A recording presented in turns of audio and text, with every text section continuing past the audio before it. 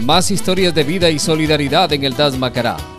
Más historias de vida y solidaridad se siguen sumando al trabajo que viene desarrollando el GAD Macará con su alcalde ingeniero Roberto Viñán a través del Departamento de Acción Social, que como presidente del voluntariado está la señora Diana Hidalgo.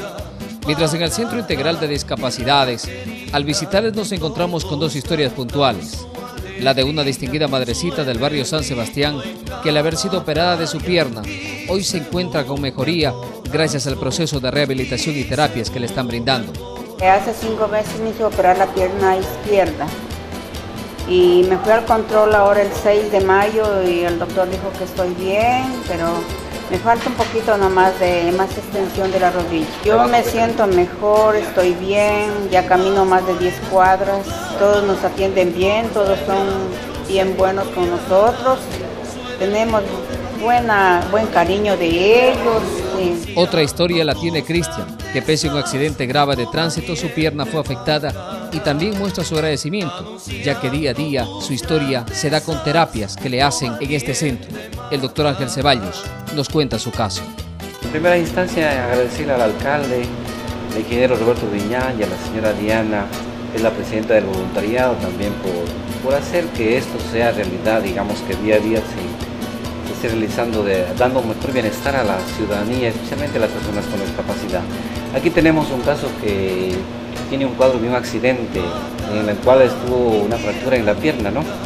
Entonces, de momento está el paciente ya en rehabilitación, tenemos una fractura de, del miembro inferior, simplemente con rehabilitación se puede hacer, digamos, que el miembro haga su trabajo normal como lo hacía antes. Y pasamos a otra área, la de los adultos mayores que tienen un proceso serio y responsable de terapia ocupacional que les ayude a potenciar sus cualidades y valores a su familia y la comunidad. Así lo explica la doctora Georgina Herrera, directora del DAS, ahora por el mes de las madres, con un taller sobre nutrición, preparando alimentos e informándoles sobre sus propiedades nutricionales. Un rico jugo de tomate de riñón fuimos testigos de esta preparación y nuestros adultos mayores, felices por lo que están aprendiendo y viviendo.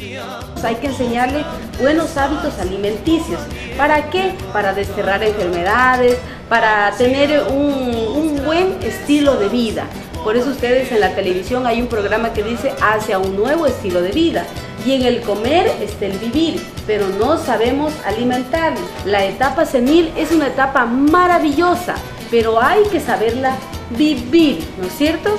Hay que dar vida a los años. Y eso es lo que queremos. Trabajamos no solo las capacidades del, paciente, sino tratamos de aún más fomentarle las que aún ya tienen y que por motivo de, de su edad, de que a lo mejor ya no están en actividad, han dejado de realizarlos.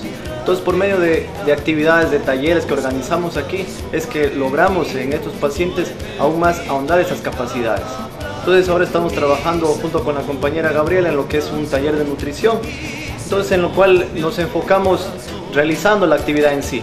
Por ejemplo, hoy van a realizar un jugo de, tomate, cuestión en sí, ayer habían realizado otro, otro tipo de actividades iguales, pero siempre ayudándoles en el sentido de hablándoles de las propiedades que tiene cada uno de, estos, o sea, no solamente realizándolo, sino también explicándoles para qué sirve, cuáles son los beneficios que tiene.